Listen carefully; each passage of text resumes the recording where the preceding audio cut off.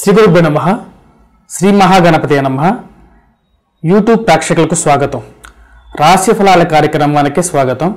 ద్వాదశ రాశుల మీద ఈ యొక్క గ్రహ ప్రభావాలు ఎటువంటి ఫలితాన్ని చూపించబోతున్నాయి? అవి మన యొక్క జీవితాన్ని ఎటువంటి దిశలకు చూపించబోతున్నాయి అనే కార్యక్రమానికి స్వాగతం.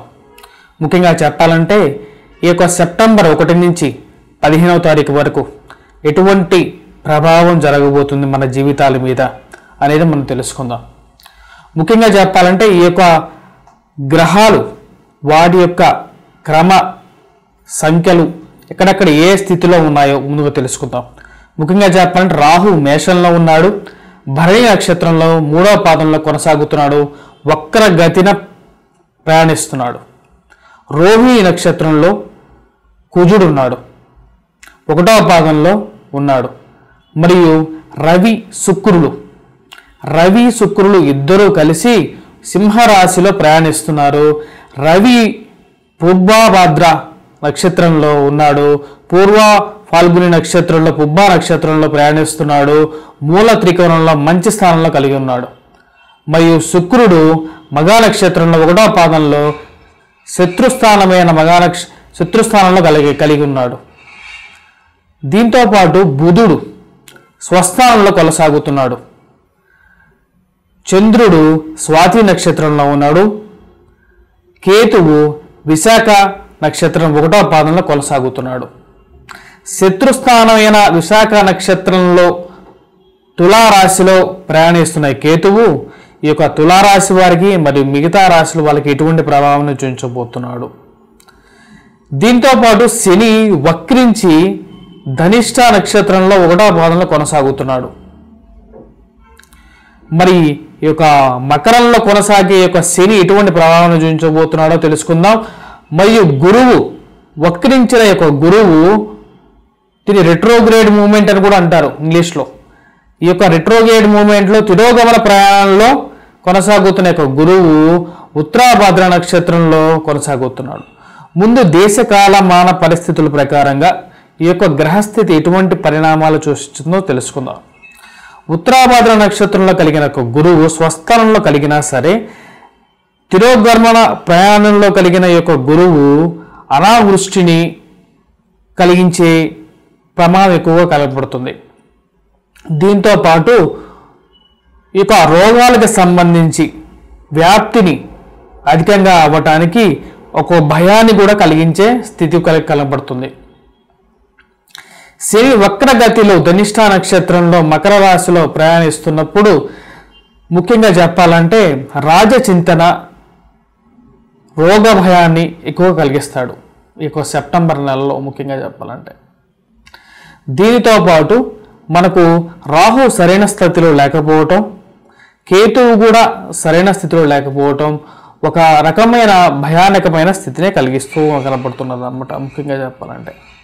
రోహిణి నక్షత్రంలో కలిగిన కుజుడు కూడా ఈ యొక్క నువ్వులు మృగహానిని ఈ యొక్క ధరలు హెచ్చుదగ్గులను కూడా సూచిస్తున్నాడు అన్నమాట ఇది ఈ యొక్క పదిహేను రోజుల యొక్క గ్రహస్థితి ఫలితం. తదుపరి కుంభరాశి. కుంభరాశి వారికి ఈ పదిహేను రోజుల కాలం సెప్టెంబర్ ఒకటి నుంచి పదిహేనో తారీఖు వరకు ఎలా ఉంటుందో చూద్దాం. ఇక కుంభరాశి వారికి చెప్పాలంటే ఆ పన్నెండో ఇంట్లో శని అన్నమాట. దీన్ని మనం ఎల్లినాటి శని కూడా పిలుస్తుంటాం అన్నమాట. ధనిష్ట నక్షత్రంలో శని ప్రయాణం జరుగుతూ ఉన్నది అన్నమాట లగ్నాధిపతి అయినటువంటి శని పన్నెండో ఇంట్లో ఉన్నాడు అన్నమాట కాకపోతే రాష్ట్రాధిపతి అయినటువంటి శని కుంభరాశి వారిని ఎక్కువగా ఎఫెక్ట్ చేయడం అన్నమాట అది కూడా ఒక కాన్సెప్ట్ అన్నమాట. కానీ ధనస్థానంలో ఈ యొక్క కుంభరాశి వారికి గురువు ఉన్నాడు కాబట్టి ధనయోగం అనేది పట్టబోతుంది. కాకపోతే గురువు ఈసారి సరైన స్థానంలో లేడు. కొంత తిరోగమన ప్రయాణంలో కొనసాగుతున్నాడు కాబట్టి అయినా సరే వీళ్ళకి ధన అనేది ఫ్లో అనేది బాగుంటుంది అన్నమాట కాకపోతే ఈ రాశి వారికి అనుకోని విధంగా ఈ యొక్క బ్రదర్స్ అండ్ సిస్టర్స్ ఎవరైతే ఉంటారో అంటే భాతృక బాతృ వాళ్ళ నుంచి వీళ్ళకి కొంచెం ప్రెజర్స్ అనేది ఎక్కువ ఎక్స్పెక్ట్ చేయడానికి ఉందన్నమాట. దాంతోపాటు గృహ కొనుగోలు విషయాలు ఏవైతే ఉన్నాయో వాహన కొనుగోలు విషయాలు ఏవైతే ఉన్నాయో వాటి గురించి కొంచెం ఆచి చూచి వ్యవహరించవలసిన ముఖ్య సూచన. ఎవరైతే ఇప్పుడు ఈ యొక్క పదిహేను రోజుల్లో ప్లాన్ చేస్తున్నారో వాడికి మాత్రమే ఈ సూచనలు అన్నమాట పిల్లల గురించి ఎవరైతే వెయిట్ చేస్తున్నారో వారికి ఒక మంచి పాజిటివ్నెస్ అనేది వినపడుతుంది అనమాట ఎందుకంటే గురువు ఎవరైతే బుధుడు ఉన్నాడో బుధుడు మంచి స్థానంలో ఉన్నాడో గురువు మంచి స్థానంలో ఉన్నారనమాట సో అదొక పాజిటివ్ యాంగిల్గా మనం చెప్పచ్చు అన్నమాట సష్టమాధిపతి అయినటువంటి చంద్రుడు ఈ యొక్క జా ఈ యొక్క రాశి వారికి ఎవరైతే ఉన్నారో వారికి మంచి స్థానంలో ఉన్నాడన్నమాట. ఈ యొక్క పదిహేను రోజుల మొదటి కాలంలో. తదుపరి చెప్పాలంటే సప్తమంలో రవి శుక్రులు ఉన్నారన్నమాట. వివాహ సంబంధిత విషయాలు చేకూరే విధంగానే ఉంటాయి. కాకపోతే ఒకటికి రెండుసార్లు ఆలోచించి నిర్ణయం తీసుకోవాల్సిన ముఖ్య సూచనగా చెప్పబడుతుంది. ఎందుకంటే శుక్రుడు సప్తమంలో ఉన్నాడు సరైన స్థానంలో లేడన్నమాట.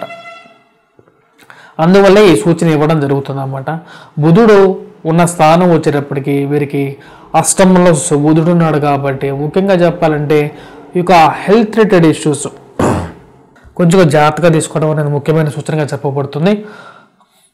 ప్లస్ పిల్లల ఎదుగుదల ఏదైతే ఉందో అవి కూడా కొంచెం అనుకోని విధంగా వాళ్ళు ఎందుకు ఇలా బిహేవ్ చేస్తున్నారు? వారి ఎదుగుదల సరిగా లేదు అని చెప్పే మానసిక చింతన అనేది మీకు ఎక్కువగా ఉంటూ ఉంటుందన్నమాట. దూర ప్రాంత ప్రయాణాలు ఏవైతే ఉన్నాయో అవన్నీ లాభించే విధంగా ఉండవు.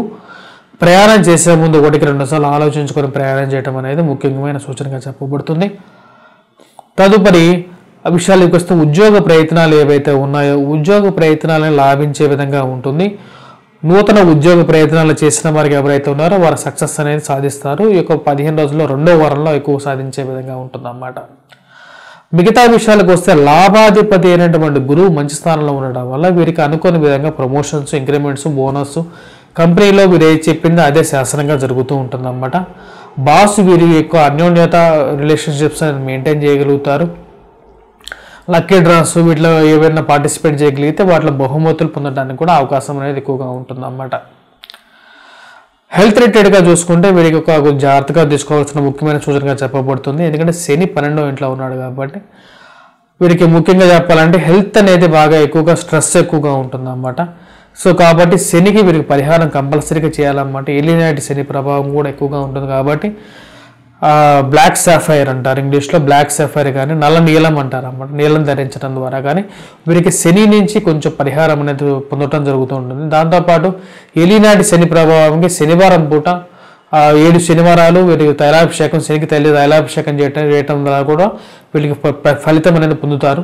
దానితో పాటు వీళ్ళు కాల కాలభైరవ అష్టకం చదవటం ద్వారా కూడా ఫలితాన్ని పొందడానికి ఎక్కువ ఆస్కారం కలిగి ఉంటారు అన్నమాట వివాహ సంబంధిత విషయాల గురించి ఎవరైతే వెయిట్ చేస్తున్నారో వారు ముఖ్యంగా వచ్చేటప్పటికి సప్తమాధిపతి అయినటువంటి రవి మంచి స్థానంలో ఉన్నాడు. కాకపోతే శుక్రుడు సరైన స్థానంలో లేడు కాబట్టి కొంచెం రోజులు వెయిట్ చేసి సరైన సంబంధం కోసం వెయిట్ చేయవలసిన ముఖ్య సూచనగా చెప్పబడుతుంది. స్వస్తి. ఇక యూట్యూబ్ ప్రేక్షకులకి ముఖ్యంగా చెప్పవలసింది ఏంటంటే మన యొక్క జ్యోతిష్యం అనేది ముఖ్యం. జ్యోతిష్యంలో అనేది పంచమ వేదం. అంటే అన్నిటికీ మూలం. కానీ ఈ జ్యోతిష్యానికి మూలం పంచాంగం. పంచాంగం నుంచి జ్యోతిష్యం అనేది వస్తుంది. మన యొక్క ఏవైతే పండగలు ఏవైతే ఉన్నాయో అంటే మన పండగలు తిథికి సంబంధించిన పండగలు పండగలు కొన్ని ఉంటాయి. నక్షత్రానికి సంబంధించిన పండగలు కూడా కొన్ని ఉంటాయి అన్నమాట సో ఈ యొక్క నక్షత్ర పండుగలు ఏవైతే ఉన్నాయో తిరిగి నక్షత్ర పండుగలు ఏవైతే ఉన్నాయో మన యొక్క దేశ కాలం మన ప్రకారంగా ఎటువంటి గ్రహస్థితులు ఉన్నాయో అవన్నీ తెలియాలి చెప్పాలి అంటే ఒక పంచాంగకర్తే ముఖ్యం అన్నమాట. నా పేరు రవిశంకర్ శర్మ. నా గురించి ముఖ్యంగా తెలుసుకోవాలంటే మా యొక్క వెబ్సైట్ని విజిట్ చేయండి. బంగారవారి డాట్ కామ్ అనే వెబ్సైట్ ఉందన్నమాట. పంచాంగం మీరు ఫ్రీగా డౌన్లోడ్ చేసుకోవచ్చు. జ్యోతిష్యం అనేది కొంతమంది పెద్ద పెద్ద బుట్టులు పెట్టుకొని నామాలు పెట్టుకొని దాన్ని మోసంగా తయారు చేస్తున్నారు. అలా కాకుండా కొంతమంది నిస్వార్థంగా చేసే వాళ్ళు కూడా ఉన్నారన్నమాట. వాళ్ళని ఎంకరేజ్ చేయండి. అంతేగాని దోష జ్యోతిష్యాన్ని నిందించకూడదు ఎప్పుడు మనం. జ్యోతిష్యం అనేది చాలా గొప్పది. అది చాలా మహాసముద్రం. కాకపోతే జ్యోతిష్యం పేరు చెప్పి ఎవరైతే మోసం చేస్తున్నారో వారే తప్పు కానీ జ్యోతిష్యం అనేది మనకు మహా ఋషులు ఇచ్చిన ఒక పవిత్ర గ్రంథం. యాక్చువల్గా అప్పుడు వాళ్ళు ఇచ్చిన ఏవైతే మనకు ప్రసాదించారో వాటిలో మనం ఇప్పుడు ఏవైతే ఫాలో అవుతున్నాము థర్టీ ఫార్టీ పర్సెంటేజే ఫాలో అవుతున్నాం. చాలా వరకు మనకు అందకుండా కనుమరుగైపోయాయి అన్నమాట సో వీటిని ఎంకరేజ్ చేయండి. ఈ యొక్క పరిహారాల గురించి కూడా చెప్పాలంటే మీ వ్యక్తిగత జాతకం అనేది చాలా చాలా ముఖ్యం అన్నమాట. హస్త సాముద్రికం కానీ కూడా నేను చాలా ఆర్టికల్స్ కూడా రాశాను మా వెబ్సైట్లో. హస్త సాముద్రికం అనేది ఎప్పుడు తప్పు కాదు. హస్త సాముద్రిక పరిశీలన అనేది విధానమే డిఫరెంట్గా ఉంటుందన్నమాట. హస్త సాముద్రికము మరియు జ్యోతిష్యం కంపేర్ చేస్తూ కూడా కొన్ని ఆర్టికల్స్ రాశాను అనమాట మీరు చదవండి అండ్ ఫాలో uh, అవ్వండి. మీ కొన్ని కొన్ని కొత్త కొత్త విషయాలు కూడా మేము వెలుగులోకి తీసుకురావడానికి ఎక్కువగా రీసెర్చ్ చేస్తూ ఉన్నాను అన్నమాట సపోర్ట్ చేయండి. స్వస్తి.